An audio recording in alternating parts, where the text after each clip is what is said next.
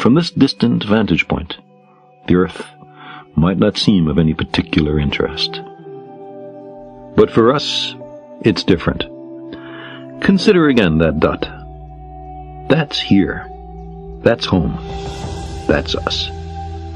On it, everyone you love, everyone you know, everyone you ever heard of, every human being who ever was, lived out their lives.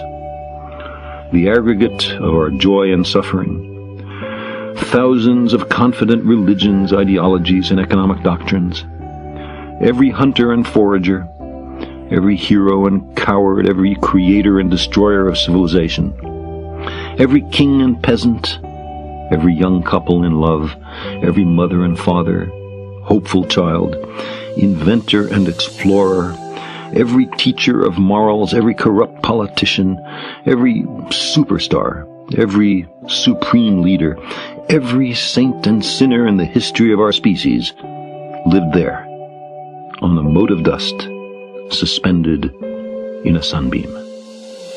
The earth is a very small stage in a vast cosmic arena. Think of the rivers of blood spilled by all those generals and emperors, so that in glory and triumph they could become the momentary masters of a fraction of a dot. Think of the endless cruelties visited by the inhabitants of one corner of this pixel on the scarcely distinguishable inhabitants of some other corner. How frequent their misunderstandings, how eager they are to kill one another, how fervent their hatreds. Our posturings, our imagined self-importance, the delusion that we have some privileged position in the universe, are challenged by this point of pale light.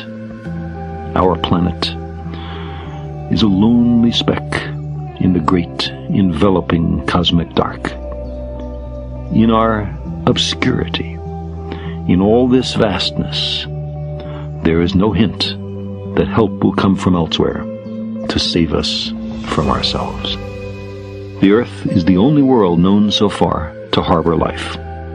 There is nowhere else, at least in the near future, to which our species could migrate. Visit? Yes. Settle? Not yet. Like it or not, for the moment, the Earth is where we make our stand. It has been said that astronomy is a humbling and character-building experience. There is perhaps no better demonstration of the folly of human conceits than this distant image of our tiny world. To me, it underscores our responsibility to deal more kindly with one another and to preserve and cherish the pale blue dot, the only home we've ever known.